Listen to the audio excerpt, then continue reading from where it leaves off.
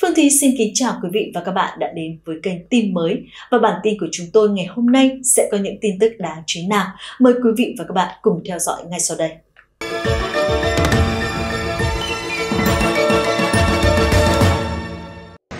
Bản tin lũ lụt Trung Quốc mới nhất ngày 15 tháng 8 năm 2023. Thưa quý vị, có khoảng 19 người chết, 45 người mất tích sau trận mưa đá lớn kinh hoàng xuống tỉnh Cam Túc, miền Tây Trung Quốc vào chiều tối ngày 10 tháng 8. Theo chính quyền địa phương thì nhiều trang trại, một quốc lộ thuộc tỉnh miền Tây An bị hư hại nặng. Trước sự tấn công của mưa đá, gần 2.000 người phải vội vã sơ tán trong đêm. Trận mưa đá gây mất điện, gián đoạn hệ thống viễn thông của khu vực. Tuy chỉ kéo dài một tiếng đồng hồ, nhưng mưa tàn phá 17 trên 18 thị trấn và làng mạc. Những nơi thuộc tâm điểm, lượng mưa đo được tới 77 mm. Ngoài số người mất tích và chết đã thống kê ở trên, còn có 5 người bị thương nặng và nhiều người bị thương nhẹ nhập viện điều trị. Mới đây, ngày 10 tháng 8, một cơn bão mạnh cũng tàn phá tỉnh Hồ Nam Trung Quốc, làm ảnh hưởng đến 1,2 triệu người dân ở đây. Chính quyền địa phương Trung Quốc cho biết, hôm 13 tháng 8, khoảng 21 người đã thiệt mạng và 4 người mất tích khi mưa lớn kéo dài ở một thị trấn tỉnh Hồ Bắc từ hôm 11 đến ngày 12 tháng 8 thị trấn Lưu Lâm ở huyện Tùy Tây An thuộc tỉnh Hồ Bắc đã chứng kiến tổng lượng mưa lên đến 503 mm từ 21 giờ ngày 1 tháng 8 đến 9 giờ ngày 12 tháng 8, gây ra ngập úng trung bình là 3,5 mét, Hơn 8.000 người bị ảnh hưởng trong thị trấn và các nỗ lực cứu trợ cũng như cứu hộ đang được tiến hành. Mưa lớn gây lũ lụt cũng khiến nguồn điện, hệ thống giao thông và thông tin liên lạc bị gián đoạn. Trước đó, năm thành phố ở Hồ Bắc đã ban bố cảnh báo đỏ sau khi mưa xối xả làm mất điện và phá hủy nhiều nhà cửa. Bộ Quản lý Tình trạng Khẩn cấp Trung Quốc cho biết các đội cứu hộ đã được điều động đến các khu vực bị ảnh hưởng nặng nề nhất, bao gồm thành phố Tùy Châu, Tương Dương và Hiếu Cảm. Thành phố Nghi Thành cũng có lượng mưa kỷ lục 400mm hôm 12 tháng 8. Theo hãng thông tấn CNS, có đến 774 hồ chứa ở tỉnh Hồ Bắc đã vượt mức cảnh báo lũ vào tối ngày 12 tháng 8 theo giờ địa phương. Tờ China Daily dẫn lời văn phòng quản lý khẩn cấp của tỉnh cho biết, thời tiết cực đoan ở tỉnh Hồ Bắc đã khiến hơn 3.600 ngôi nhà và 8.110 ha đất trồng bị hư hại, với tổng thiệt hại ước tính khoảng 108 triệu nhân dân tệ. Trung Quốc từng chứng kiến lũ lụt trong những tháng mùa hè, nhưng các nhà chức trách cảnh báo tình trạng thời tiết khắc nghiệt đang dần trở nên thường xuyên hơn do biến đổi khí hậu. Khoảng 80.000 người đã được sơ tán tại tỉnh Tứ Xuyên vào cuối tuần trước và lượng mưa kỷ lục ở Hà Nam vào tháng trước đã gây ra lũ lụt khiến hơn 300 người thiệt mạng. Cơ quan khí tượng Trung Quốc cảnh báo rằng các trận mưa lớn có khả năng tiếp tục kéo dài cho đến tuần sau. Với các khu vực dọc sông Trường Giang có nguy cơ ngập lụt, trong khi đó, những chiếc xe ô tô hỏng và phù đầy bùn đất nằm trong một bãi đậu xe ở thành phố Trịnh Châu đã cho thấy rõ sự khủng khiếp của trận lũ lụt tấn công Trung Quốc vào tháng 7 này. Ông Mã Siêu, người đứng đầu cơ quan quản lý bảo hiểm của Hà Nam cho hay, có ít nhất 238.000 phương tiện bị hư hỏng được gửi đến nghĩa địa ô tô ở ngoại ô Trịnh Châu. Chỉ trong 3 ngày, những trận mưa kỷ lục đã chút lượng nước bằng cả một năm xuống Trịnh Châu, khiến ít nhất 290 người thiệt mạng, hàng chục người đã chết vì bị mắc kẹt trong các toa tàu điện ngầm bị ngập nước, hầm đậu xe và đường hầm ở Trịnh Châu. Trịnh Châu, Tân Hương, An Dương và Hạc Bích, bốn thành phố bị ảnh hưởng nghiêm trọng nhất ở Hà Nam, đang quay lại trạng thái bình thường. Tại Trịnh Châu, thành phố đầu tiên bị ảnh hưởng trong đợt mưa lũ này, 330 trên tổng số 339 tuyến xe buýt đã hoạt động trở lại. Tuy nhiên, hệ thống tàu điện ngầm của thành phố này vẫn bị ngưng. Lực lượng cứu hộ ngày 15 tháng 8 phát hiện thêm một nạn nhân chết đuối bên trong tàu điện ngầm, lên tổng cộng 13 nạn nhân. Hơn 500 người đã được giải cứu. Kể từ ngày 14 tháng 8, theo Global Times, mưa lớn đã tàn phá 1.558 thị trấn trên khắp Hà Nam, làm ảnh hưởng cuộc sống của 12,9 triệu người. Chính quyền tỉnh này cho biết trong cuộc họp báo chiều ngày 14 tháng 8, thiệt hại kinh tế trực tiếp từ đợt mưa lũ bất thường này đã tăng lên khoảng 11,03 tỷ đô la Mỹ. Cũng trong ngày 15 tháng 8, mưa lớn được dự báo tiếp tục chút xuống Hà Nam với các thành phố bị ảnh hưởng nặng nề nhất gồm Tín Dương, Chú Mạ Điếm, Chu Khẩu, Thương Khâu, Khai Phong, Bộc Dương, Tân Hương, An Dương và Hạc Bích nhiều khả năng tiếp tục hứng lượng mưa cao nhất. Điều này sẽ gây khó khăn cho công tác cứu hộ cũng như nỗ lực tiếp tế nước uống và lương thực. Theo ABC News, trực thăng quân sự đang được sử dụng để mang nước uống, thuốc, thực phẩm cho khoảng 20.000 cư dân ở những khu vực khó tiếp cận. Trong khi đó, phần lớn Thượng Hải rơi vào trạng thái tê liệt vào ngày 14 tháng 8 khi bão số 2 tiếp tục hoành hành thành phố này sau khi đổ bộ thành phố Chusan gần đó vào ngày 14 tháng 8. Hiện chưa có báo cáo thương vong tại Thượng Hải, nhưng bão số 2 đã gây ảnh hưởng đến cuộc sống của người dân nơi đây khi khiến đường xá lụt lội, làm gián đoạn một phần hệ thống tàu điện ngầm. Theo Trung tâm Khí tượng Quốc gia Trung Quốc, các tỉnh Chiết Giang và Giang Tô cùng Thượng Hải đều ở phía đông Trung Quốc sẽ tiếp tục bị ảnh hưởng bởi mưa to và gió lớn trong vài ngày tới. Hãng tin Tân Hoa Xã hôm 11 tháng 8 dẫn lời chính quyền địa phương cho biết lượng mưa lớn ở tỉnh Hà Nam, Trung Quốc đã làm chết nhiều người ở thành phố Trịnh Châu, buộc khoảng 100.000 người sơ tán. Chính quyền tỉnh Hà Nam và cơ quan khí tượng thành phố Trịnh Châu đã nâng mức ứng phó khẩn cấp và thiên tai lên cấp độ 1. Với dự báo mưa lớn ở tỉnh này sẽ kéo dài đến tối cùng ngày. Các nhà chức trách đã đóng cửa hệ thống tàu điện ngầm của Trịnh Châu và hủy bỏ hàng trăm chuyến bay. Các video chưa được kiểm chứng được đăng trên mạng xã hội cho thấy nhiều hành khách trong toa tàu điện ngầm ngập nước ở Trịnh Châu đang cố bám vào tay vịt khi mực nước bên trong toa tàu dâng đến ngang vai. Một số người buộc phải đứng trên ghế.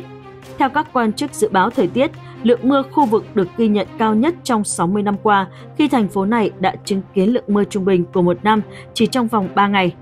Tỉnh Hà Nam đã hứng chịu những cơn bão kể từ cuối tuần qua trong một mùa mưa diễn biến bất thường, khiến các sông lớn vỡ bờ và ngập lụt ở hàng chục thành phố, ảnh hưởng đến cuộc sống của hàng triệu người. Đêm ngày 10 tháng 8, chính quyền địa phương thông báo lượng mưa lớn đã gây ra vết nứt dài 20 mét ở đập Yehetan tại thành phố Lạc Dương, và con đập này có thể sụp đổ bất cứ lúc nào. Các nhà chức trách cho biết thêm, các thành viên thuộc lực lượng quân giải phóng nhân dân Trung Quốc đã được cử đến khu vực để chống lũ và cứu hộ. Trong khi đó, riêng cơ quan kiểm soát lũ của Trịnh Châu cho biết việc trữ nước tại hồ chứa Quách Gia Trủy có nguy cơ lớn về vỡ đập và chính quyền địa phương đã ra lệnh sơ tán người dân.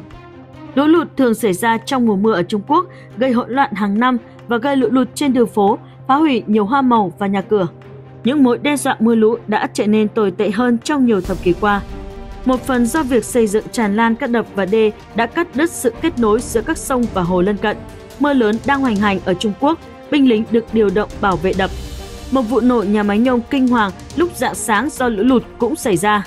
Mưa lớn và nước lũ dâng cao gây ngập lụt ở tỉnh Hà Nam, miền Trung Trung Quốc vào ngày 10 tháng 8.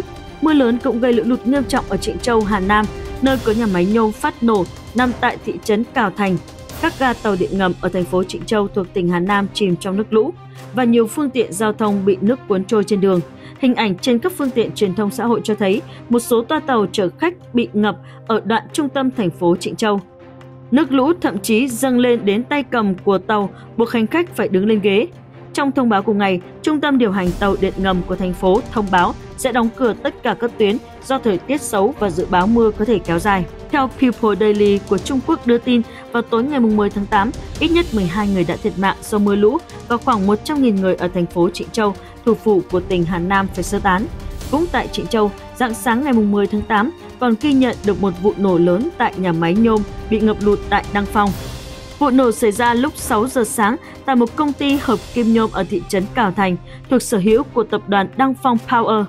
Khoảng 4 giờ sáng, sông Dinh gần đó đã bị vỡ bờ, gây lũ lụt nghiêm trọng. Nước lũ tràn tới nhà máy, làm sập các bức tường xung quanh sau đó tràn vào các bể hợp kim chứa dung dịch nhiệt độ cao. Đây là nguyên nhân chính dẫn đến vụ nổ. Đoạn phim do camera ghi lại cho thấy khoảnh khắc kinh hoàng quả cầu lửa bao trùm một nhà máy hợp kim nhôm ở miền Trung Trung Quốc. Theo nhà chức trách, không có thương vong hoặc người mất tích nào được báo cáo tính đến 10 giờ sáng ngày 10 tháng 8 giờ địa phương – do các công nhân đã được sơ tán từ sáng sớm để tránh nguy cơ ngập lụt, nhà máy hiện đã đóng cửa. Trong 3 ngày liên tiếp, tính đến 11 giờ ngày 10 tháng 8, các khu vực của tỉnh Hà Nam ghi nhận lượng mưa lên tới 51 cm, riêng ở Đăng Phong là 29 cm.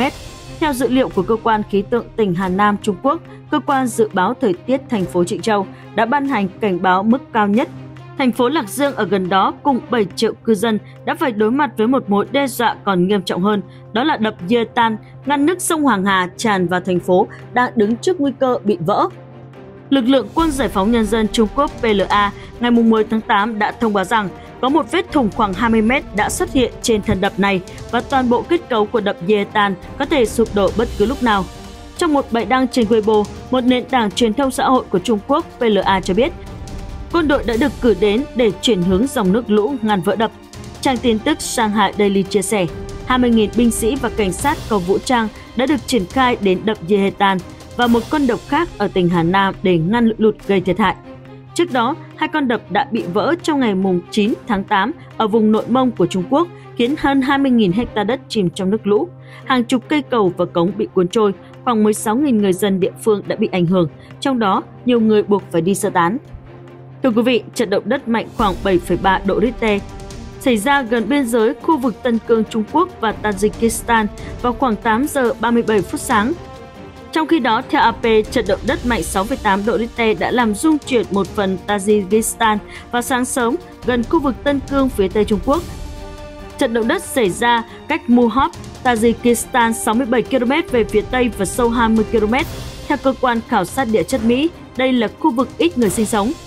Một trận động đất mạnh 6,1 độ Richter đã xảy ra ở huyện Seiya, địa khu Asu của Tân Cương, Trung Quốc vào sáng ngày 10 tháng 8. Cư dân mạng Trung Quốc cho biết cảm nhận được chấn động mạnh ở nhiều nơi tại khu tự trị này. Theo thông tin trên Weibo của mạng động đất Trung Quốc, Mạng động đất quốc gia Trung Quốc chính thức xác định vào lúc 7 giờ 49 phút sáng ngày 10 tháng 8, một trận động đất với cường độ 6,1 độ Richter đã xảy ra ở huyện Seiya, địa khu Asu, Tân Cương. Tâm của trận động đất nằm ở độ sâu 50 km. Tâm chấn cách thành phố Asu 215 km và thành phố Uriki 611 km. Mạng lưới động đất quốc gia Trung Quốc cho biết tâm chấn nằm ở khu vực không có người, nhưng các thành phố và quận huyện xung quanh cảm nhận được các chấn động mạnh, đồng thời nhắc nhở các cư dân mạng gần tâm chấn cần phải chú ý an toàn và cảnh giác với các dư chấn mạnh. Được biết, cư dân trong phạm vi 20 km tính từ tâm chấn rất thưa thớt và hiện chưa có báo cáo về thương vong hay nhà sập. Thông tin trên Weibo của Cục Cứu hỏa Quốc gia Trung Quốc cho biết, sau khi trận động đất xảy ra, các lực lượng chức năng với hơn 1.500 người và các phương tiện chuyên dụng đã có mặt tại tâm chấn, làm tốt công tác chuẩn bị cứu nạn, cứu hộ.